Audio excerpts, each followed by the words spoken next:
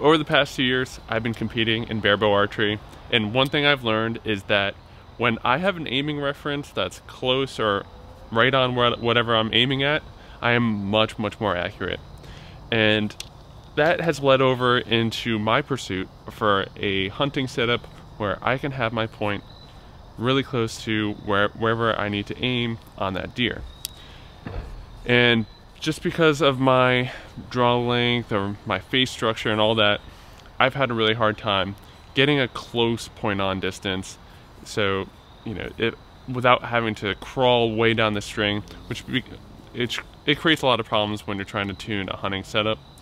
Uh, so I wanted to keep my crawl as short as possible and get a really close point on. So I think I found the answer and it's these arrows right here. These are the gold tip traditional classic XTs.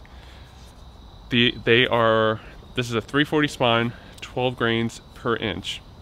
And they come with a really heavy stainless steel insert as well as an outsert, which adds more weight. And then I'm running 150 grain point on top of that. My total arrow weight right here is 675 grains.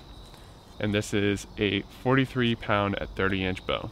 So extremely heavy for a light draw weight bow, but this combination has given me a 25 yard point on with a very small crawl. You might not have to go to extreme lengths to get, you know, a closer point on, but a heavy arrow, a longer arrow, as well as a crawl will definitely get you there. If I can do it, so can you.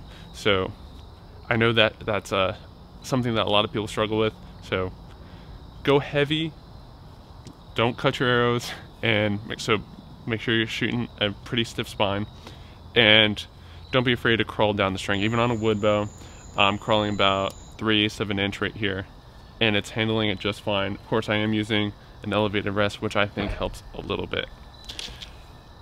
But the real question is that when you're shooting, you know, a 700 grain arrow basically out of a 43 pound bow, what are your drops like? Are you going to be missing deer low all the time? And for me right now, 15 to 20 yards, I'm aiming belly line of that deer, so I'm putting my point right in the armpit basically. 20 yards, I'm putting my point on the heart, and at 30 yards, I'm putting it mid body. And if I shoot my 20 yard, um, my 20 yard uh, aiming spot at 25 yards, that I'm going to miss low. But that's where a rangefinder comes in and really judging the difference between 20, 25, and 30 is not that hard. If you practice judging, judging inside of 30 yards within five yards is it's not it's not really that hard. Especially again if you're ranging areas around wherever you're hunting, it becomes much easier. So within five yards is really the margin of error that uh, that I need to be worried about. And really most of my shots I'm taking are inside of 20 yards anyway. So it's not that big a deal for me.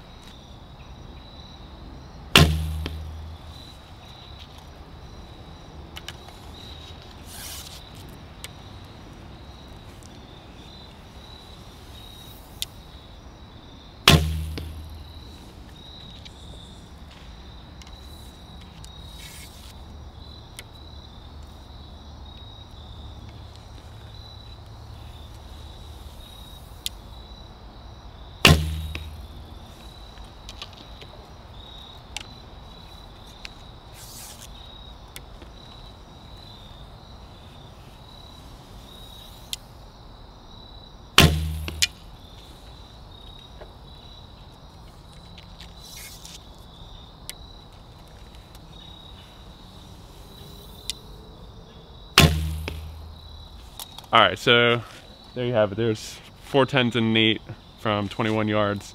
Uh, for me, having the point real close to where it, where it needs to be makes me much, much more accurate.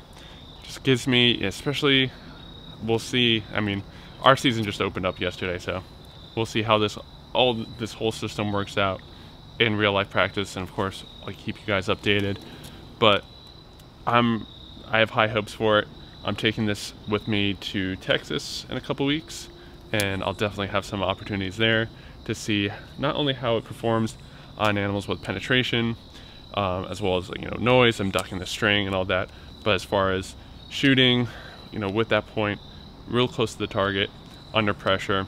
I really look forward to keeping you guys updated on this project, but I'm just so glad that I figured out a way to, to get my point on distance really low, and I hope something like this uh, works for anyone out there that is looking to do the same.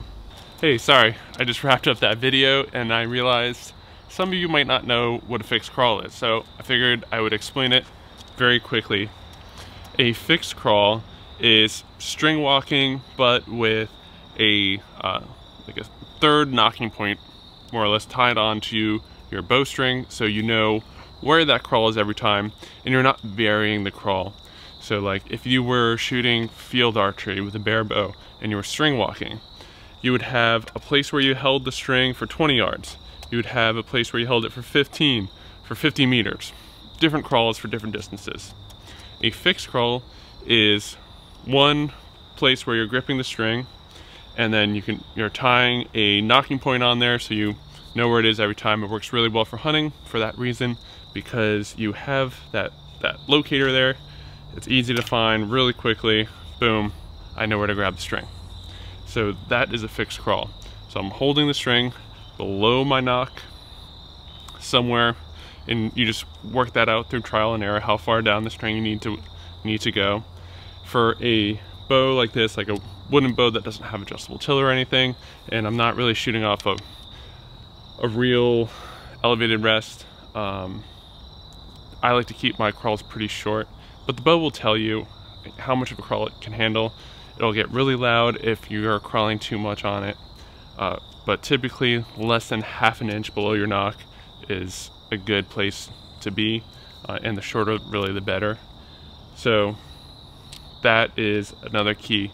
Another thing I didn't mention was having a slightly higher nocking point, you know, between, I would say between half inch and three quarters is usually a good place to be.